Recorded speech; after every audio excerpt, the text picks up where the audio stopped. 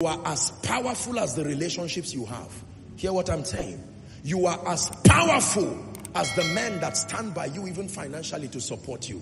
The quickest way to rise and scale financially is through the ministry of men.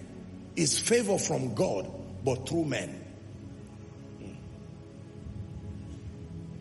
I've shared with you the story of Isaac, of, of Abraham and Lot. I've shared with you the story of Abimelech and Abraham.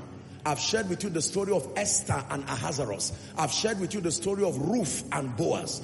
All of these people prospered through relationships. Who hates you does not matter. I will repeat koinonia. But who likes you matters. May good people like you. When God wants to accelerate your journey into becoming financially blessed, He will connect you not by your manipulating your way into their lives. He will connect you by His Spirit. When you meet someone of means, He will bless you according to His riches in glory. There is glory in riches. Did you hear what I said? Yes. Most likely, if you meet a billionaire, the likelihood that he will give you 10,000 um, it may not be. Because no matter how he tries to reduce it, his realm does not allow him to give you less than a particular amount. It's not pride, it's just how they are. Their unit of operation is somebody else's miracle. Whether you believe it or not, is not. I am telling you how it works. It's as honest and as simple as that. That means many of you have not received from God. Because if what I have said is true, then if God really reaches down to you and it does not surprise you, it has not arrived. Are we together now? Let me tell you how God blesses. Cast your net to the right side immediately. Did you see what they caught? Let me tell you how God blesses. Your wine, your oil, your flour will not deplete. And that woman lived up to it. Let me show you how God blesses. By this time tomorrow, and Samaria was in an avalanche. Hmm. For someone, whilst you are seated here, your parcel from heaven, after many, many days and many years of witchcraft operation, stopping it from arriving, whilst you are here in Koinonia, it has finally arrived the world of men. And in the name of Jesus, listen, let me tell you the truth. And I don't, I hate to sound arrogant and forgive me if I do.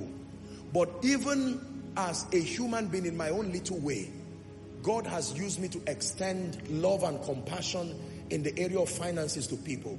And I have seen what it has done to them. This is me as a man. I've had the honor of giving somebody one naira, two naira, and I've seen how it changed their lives. How much God? What are you saying? God can end your prayer request in a moment. I'm telling you. You don't believe me?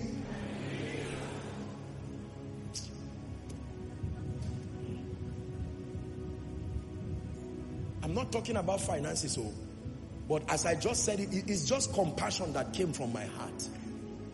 Value, favor. Now let me tell you the truth. Value is your own responsibility. But you see, you can have what to give and be serving the wrong people. They would still not bless you. It is the assignment of God to keep rearranging your audience till you find yourself in the midst of the people who have a recognition for what you carry.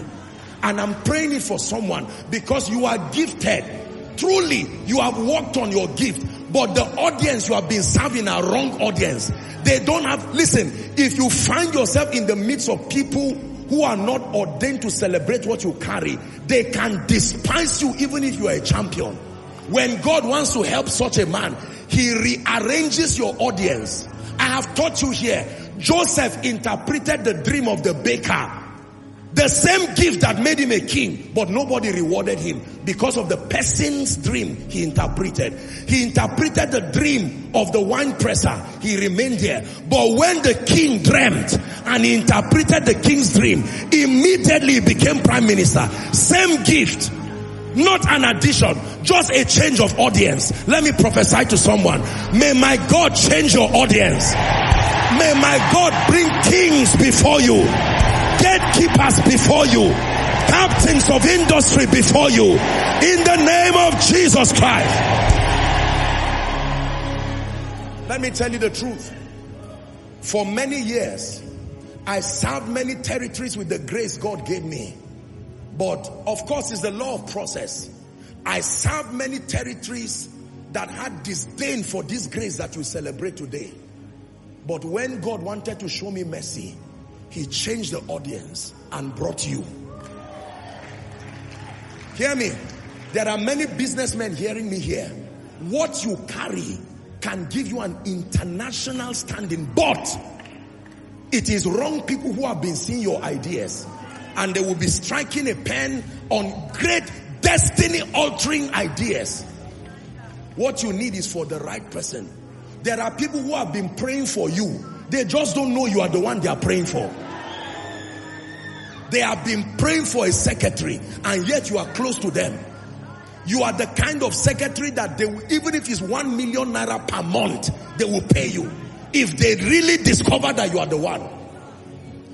Do you know a man can pray and not know what he's praying for? A man can pray and not know how his answer will look like. I'm praying for you again. The person ordained to reward you for what you carry, to reward your many years of investments. I call upon the God of my covenant tonight. Between now and the end of next month, may you find these people. May they find you. May you find them. May they find you.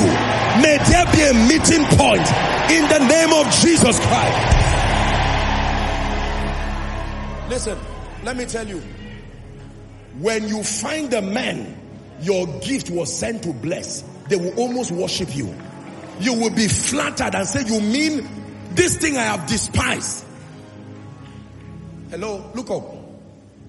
I hope you know the people to buy the oil of the, of the wife of the prophet. Maybe they were praying, God, you mean nobody has oil? Whereas the oil they will buy was in a house, but was in a quiet jar somewhere. After the prophet spoke, and it multiplied. He said, go and sell it. Meaning there are customers. You just have not seen them. There are people that when they see you, your oil will not spend the night. They will say, we have been praying for you. There are architects here. You have been meeting the wrong people. You, you should be designing cities and yet you are still begging for mini projects because the wrong audience. I pray for you. May the God of my covenant rearrange your audience. Rearrange your audience. Rearrange your audience.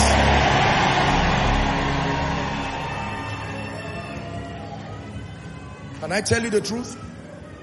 Listen to me. When the right people see your gift, they will announce to their circle.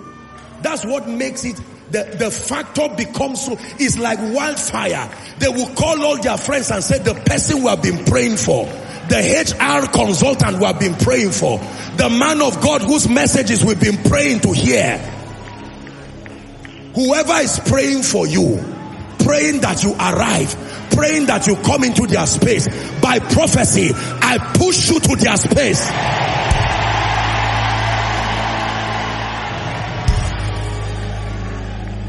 Hallelujah. Please be seated.